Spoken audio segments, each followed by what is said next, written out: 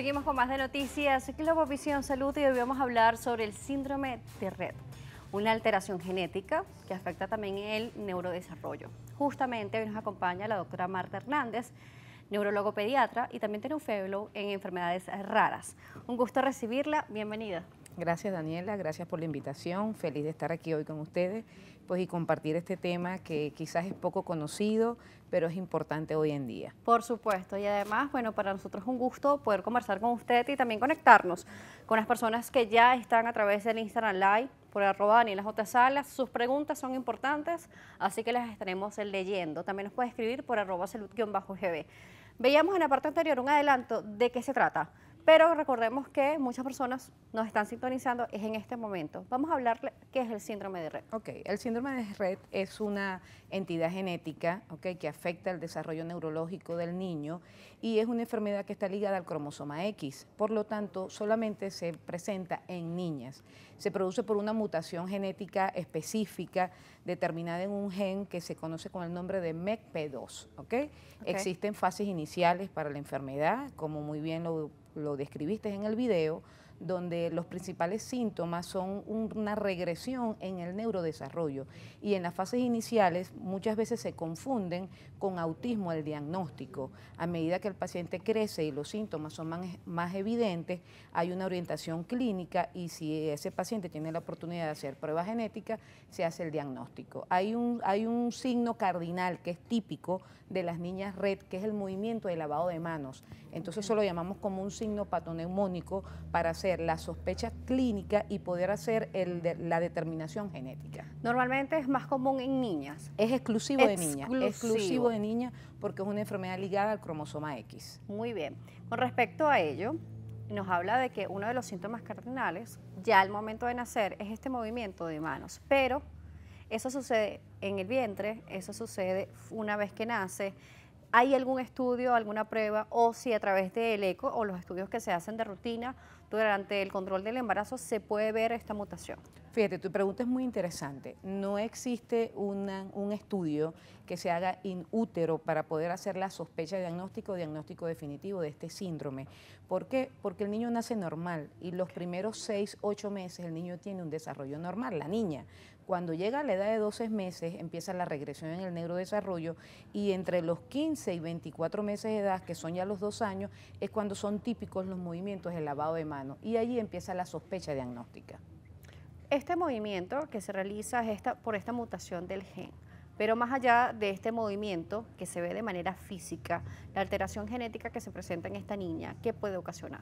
Mira, aparte del movimiento de lavado de mano, hay regresión en todo el neurodesarrollo. Entonces tenemos regresión madurativa del lenguaje, tenemos trastornos motores, tenemos movimientos involuntarios y pueden aparecer las crisis convulsivas. Es típico del síndrome de R las epilepsias, epilepsias que progresan, epilepsias de difícil control, refractarias al tratamiento a medida que el paciente crece. ¿A partir de cuánto tiempo comienzan a aparecer estas epilepsias? Mira, la edad promedio para las crisis epilépticas es entre los 2 y los 5 años, siendo más severa de los 5 años en adelante. 5 años en adelante, nos dice que es de difícil control. Sí. Entonces, ¿cuál debe ser el manejo por parte de los padres, de los cuidadores, al momento de que la niña presente compulsiones? Mira, una vez que una niña red ya tiene un diagnóstico de red y empieza con crisis convulsiva, pues el niño, ese, esa niña debe ser manejado en conjunto con un neuropediatra especialista en epilepsia, porque la elección del fármaco antiepiléptico o de la combinación de los fármacos antiepilépticos debe ser bien cuidadosa para que ese paciente no progrese a la refractariedad y el control de las crisis sea mejor. Sí, justamente le iba a consultar eso. ¿Qué sucede si no se da periódicamente o como está el récipe específico para el anticonvulsivo? Mira, el paciente pues se complica porque las epilepsias progresan y a medida que el paciente crece, el ser esto una enfermedad genética, de por sí ya es una enfermedad progresiva en el tiempo. La niña va creciendo y la niña va perdiendo habilidades neurológicas que fueron adquiridas. Si el paciente no cumple la medicación al pie de la letra o no se hace una buena combinación de fármaco, el paciente no responde a la medicación y las crisis convulsivas van a ser diarias. Entonces va a haber más deterioro. Tienes ya progreso de por sí por tu enfermedad de base porque tienes una enfermedad genética que es neurodegenerativa, dentro de la cual cursa con epilepsia, el paciente sigue con crisis y el deterioro es más progresivo.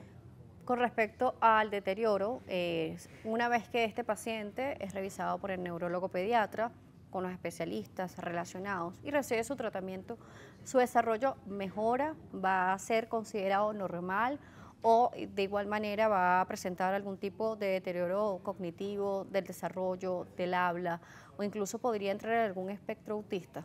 Fíjate, anteriormente el síndrome de Rett, te estoy hablando cuando se clasificaban los trastornos del neurodesarrollo en el año 2005, el síndrome de Rett entraba dentro del trastorno del espectro autista. Del 2006 en adelante, que ya hay una determinación genética específica donde ya sabemos cuál es la mutación, sacan al síndrome de Rett de la clasificación del trastorno del espectro autista y lo manejamos hoy en día como una entidad aparte.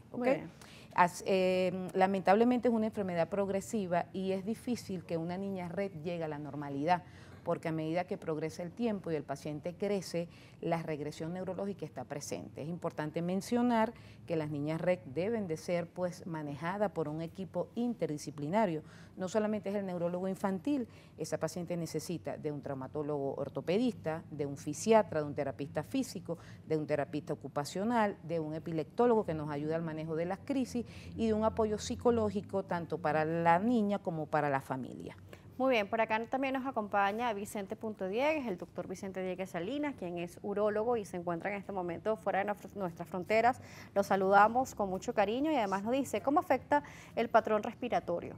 Ok, este, fíjese que el síndrome de Red desde el punto de vista clínico se divide en cuatro fases o cuatro etapas. ¿okay? La fase inicial, donde el paciente debuta eh, básicamente con retrasos en el neurodesarrollo y empieza el movimiento de lavado del mano, hay la sospecha diagnóstica, el paciente va pues a un screening genético, se hace el diagnóstico definitivo, la segunda fase que va entre los dos y los siete años de edad y la afectación respiratoria, al ver una progresión motora, hay afectación de músculos respiratorios, el paciente hace hipotonía de músculos respiratorios y con frecuencia hacen infecciones respiratorias. Entonces hay que vigilarlo porque es un paciente de riesgo para hacer neumonías.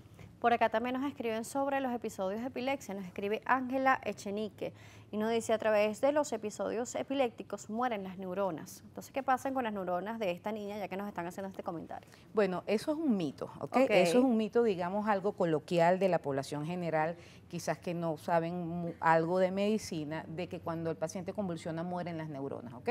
Las neuronas no mueren, pierden funcionabilidad, ¿ok? Eh, ya te lo había mencionado, eh, la enfermedad progresa y si el evoluciona a una epilepsia refractaria con crisis diaria, la progresión es más severa. Muy bien, vamos a irnos a una pausa. Estamos revisando las redes sociales. Con gusto leeremos sus preguntas y comentarios o dudas con la doctora Marta Hernández, neurólogo pediatra y además fellow en enfermedades raras. Estamos hablando sobre el síndrome de Red, esta alteración también genética que se presentan en niñas. Preguntas, comentarios, redes activas, arroba salud-gb, arroba J. Salas. Volvemos.